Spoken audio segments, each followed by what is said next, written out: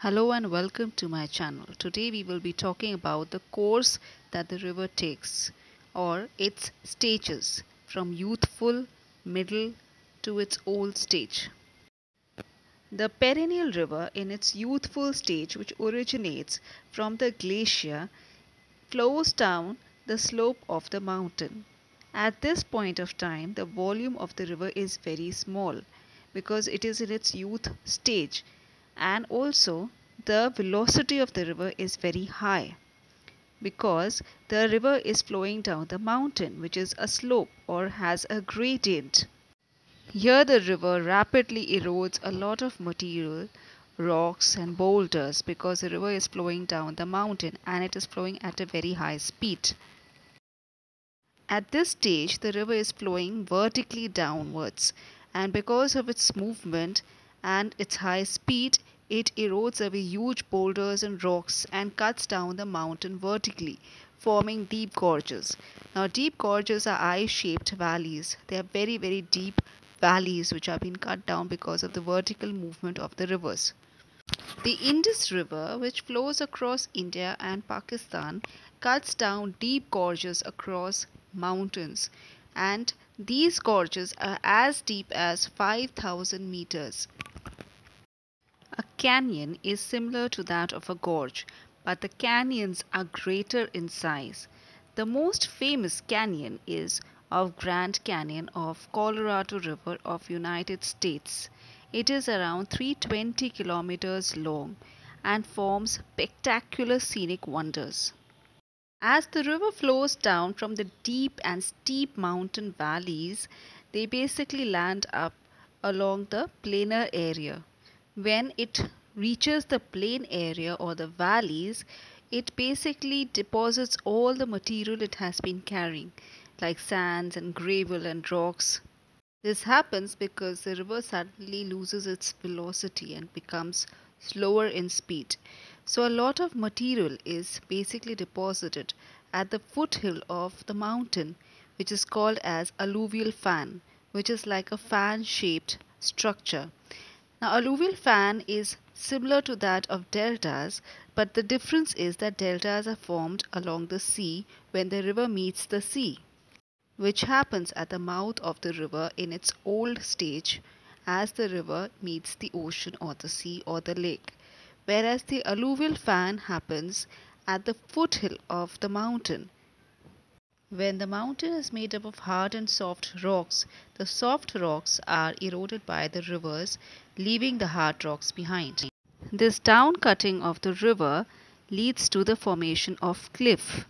At the bottom of the cliff, there is a plunge pool which is formed because the river suddenly falls down the cliff from a great height and it also collects a lot of water and material at the bottom of the cliff forming a plunge pool which is called as a waterfall.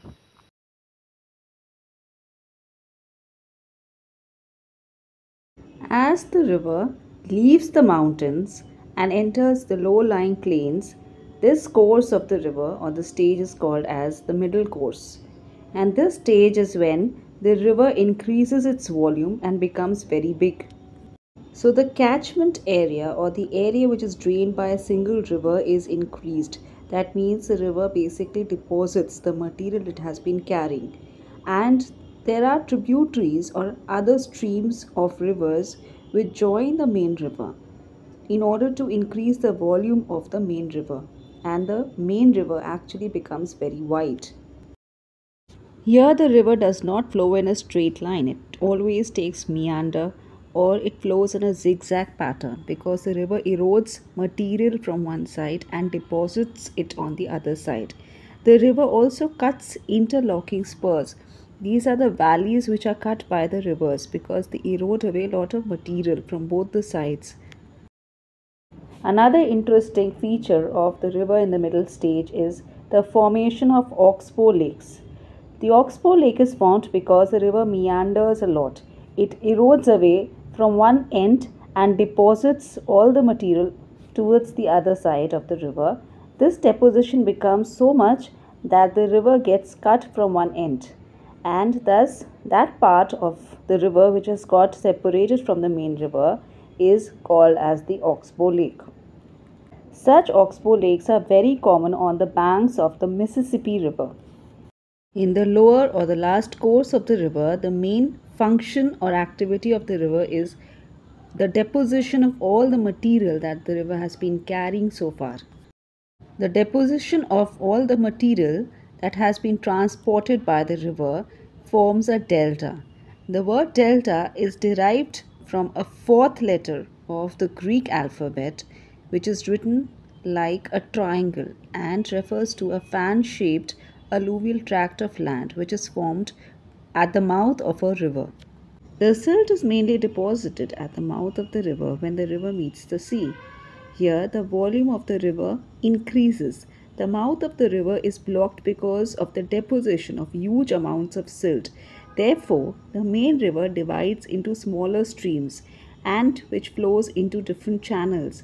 These several channels which flows in different directions are called as distributaries.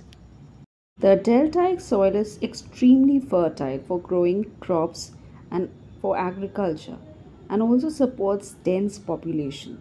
The best known deltas of the world are Ganga Brahmaputra Delta, the Nile River Delta, and the Mississippi River Delta.